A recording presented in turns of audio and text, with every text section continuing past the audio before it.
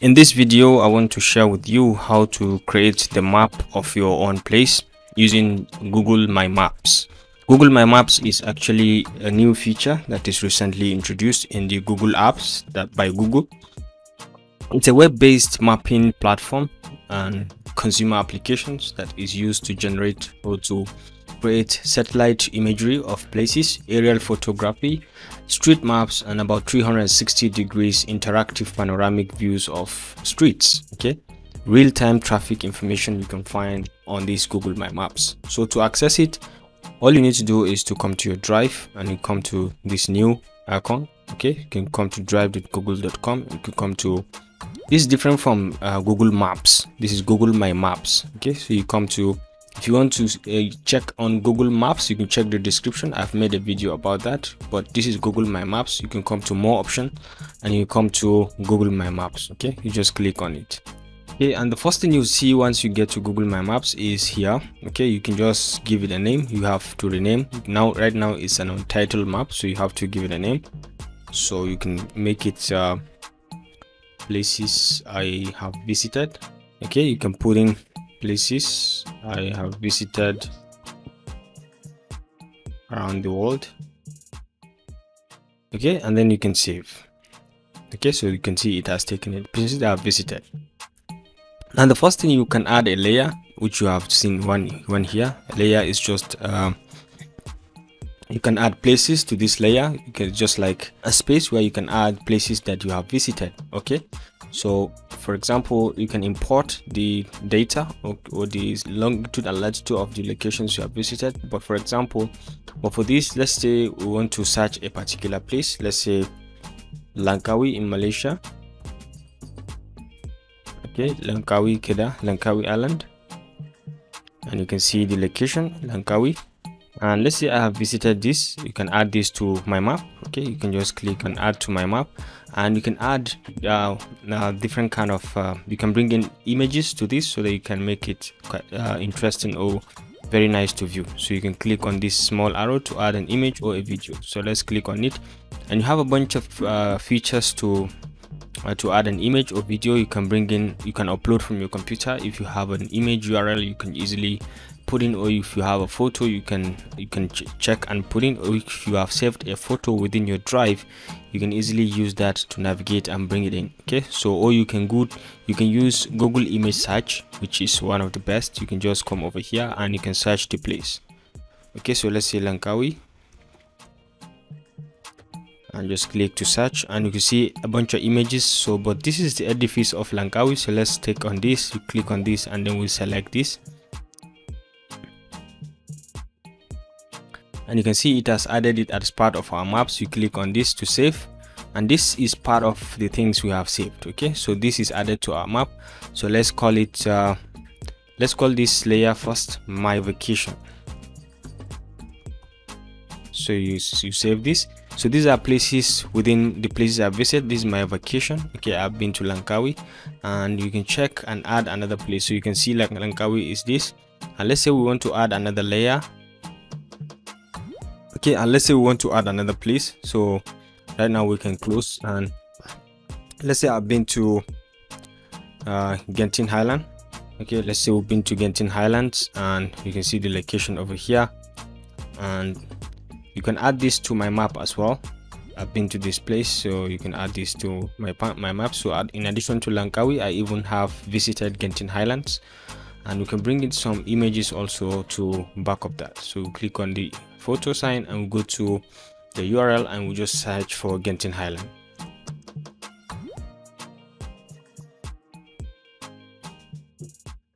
Okay and you can see a bunch of images. So let's say we are taking this the one with the cable cars and we just select it and add it as part of our image of the location and we can easily save this.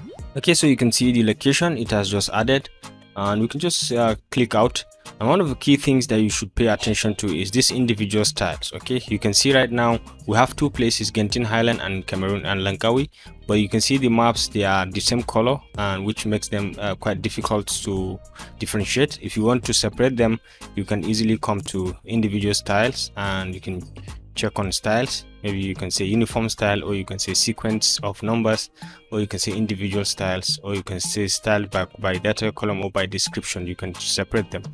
Okay so let's say we'll put an uniform style or you can see like now it's individual style you can put labels. Okay you can set labels. You can put names and descriptions if you want. And over here you can click on each location to add color to it. So let's say we click on this and we'll give it a red color and when you click out you can see that it's easily recognizable by the red color and you can click on this and give it maybe uh, a yellow color and you can see it can be easily located or recognized. Or you can use any of these popular icons so you can be able to see it. So let's say we use this one and you can see it separates it from the other one. And you can easily separate or recognize the two of them. This is the this is the first one and you can see this is Genting Highland easily and this is Langkawi easily. You can see it separated with the red map icon and you can see the image as well. So this is how to add and you can easily bring in you can uh, you can add more layer to maybe uh, another place that you have visited or another place that you have lived also. And you can uh, bring in uh, different kind of marker. Okay you can add marker to any location. Alternatively you can add uh, a, a, location from by just clicking on this and dropping at that location and it's going to name it within your marker. Okay so let's say we click and drop it anywhere. Okay so let's say here and we can drop it and make it maybe Penang. Is it? And you can give a description if you want and save it. So you can say it has added a place Penang visit so you can check on base map and you can change this map from this view to maybe Google map view. And you can see easily the places we have highlighted. And you can easily uh, share this map with people. You can use these icons to zoom in and zoom out of the locations and to see clearly all right and let's say you have identified these places and for ease of recognition you can see them very easily. Uh, this is Penang this is Langkawi this is uh, Penang visit and the other one is uh, you can just click on it Genting Highland and you can see the location over here. And you can see the location very easily over here. So this is Genting Highland. So very easily you can bring out this map and at each each layer you can click you can see the different features. You can rename the layer you can delete the layer or you can open it open the data from that particular layer okay? So over here you have a different three dots. At these three dots you can create a new map. You can copy this map or you can open a map or move to trash or set this view as the default view whenever you open the map okay? So embed this within your uh, website okay? You can print this map as well and make it and make use of it.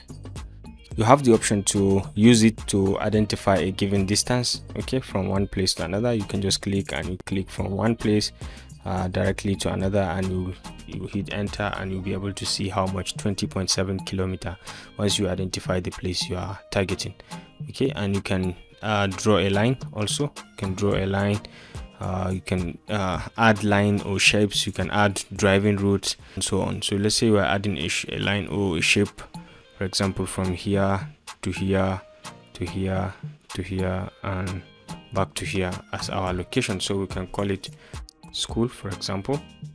You just hit on enter and you can call it my university and we can click on save and it has added that as a location okay within your location. So you can even bring in image also and put there just like the way we managed to bring in image of the other places okay? You can use this hand hand sign to navigate around and move within the map as well okay? Very easily. And you can use this to undo and redo in cases when you have made a mistake you can always save this map and you can always share with your friends by clicking on the share menu and you can control what they do with the sharing link okay? You can allow this person to view and you can allow the person to kind of edit or do some other things. You can share on drive or you can copy the link manually and share with the person right?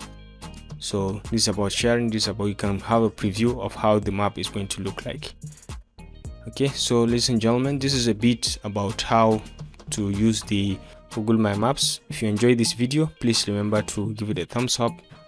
And don't forget to always hit the subscribe and notification buttons to stay connected to this channel for more of our very very useful videos. I'll see you in my next video. Bye